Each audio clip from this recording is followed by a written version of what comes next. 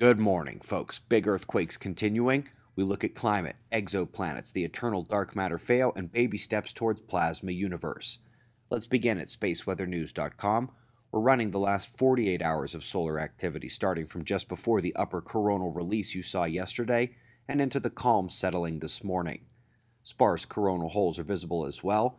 The solar wind is very calm right now. Plasma speed near the low end of range and geomagnetic conditions are quiet. An aftershock in East Oceania rang in at 6.8 this morning but was pulled back to 6.4, and an equally strong rumble hit the shallows in Japan. Tsunami warnings were canceled, but on the western side of Japan, they go into evacuation prep much more easily. Up next, Global Climate Report for the month of May. It is intriguing that this month all the blue was where the monitors are most condensed, with some stations in the rest of the world covering areas hundreds of square miles especially in South America and western Siberia. Let's go next to possible Earths in waiting. From our solar system, the star of focus is only 12.5 light years away, making it one of the closest. And at this system, there are two nearly Earth sized planets, both orbiting in the habitable zone.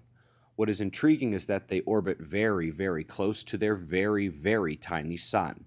This might suggest that they sit in the liquid water zone of a star that just doesn't have the juice for major solar flares, which might make that an even more habitable solar system than our own.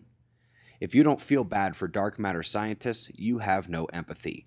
Imagine a world where you never win. You stub your toe on every corner and furniture leg. You bite your inner upper lip in the same place every chew of food. You have a bunch of friends who are as clueless as you are, and you keep accepting billions in taxpayer funding to find a unicorn part of your condition is that you hate Subaru Hyper Suprime Cam.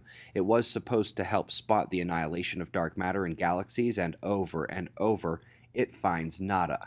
The low surface brightness galaxies in play for that paper were supposed to be their game breaker. Whoops. Instead, Hyper Suprime found something else a low surface satellite galaxy to the Milky Way, and we have shifted straight into another major problem for large scale dark matter cosmology, as the satellite population begins to seriously defy predictions. Of course, veterans here know that it is plasma and magnetic fields at scale that sculpt and transform the cosmos. They are just hard to see. So, for example, when they look at these two Abell clusters, all they see is this, but to find the sparse emission spectra and map the totality, you realize that indeed there is a lot more electromagnetic interaction and plasma exchange between the populations than they initially realized. Chandra stepped in to unexpectedly bolt the action understanding on the interior of those systems, suggesting that viscosity of the plasma is far lower than models predict, and that it is the small scale magnetic field intricacies and the plasma turbulence that is dictating the behavior of that gas. That would be as opposed to gravity and kinetic friction. Last but not least, we have what will go down into the top five discoveries of the year in cosmology. The massive cold gas halos around galaxies are co rotating with the galaxies.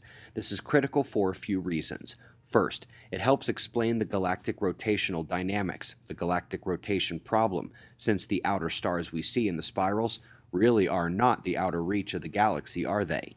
But also, if you recall the lost light of Hubble, which suggests these halos are twice to three times as big as expected, you not only begin to crowd out the region where the dark matter halo was supposed to be, but what would you bet they find that that even further out material is co-rotating as well, which, at such distances, could only be electromagnetically controlled. Folks, looks like tomorrow we're going to have a ton of Earth and Sun stories to report, don't miss it, and we greatly appreciate your support. We've got wind maps and shots of our star to close, and we'll do this all again tomorrow, right here. But right now, it's 4:45 a.m. in the new Valley of the Sun. Eyes open, no fear. Be safe, everyone.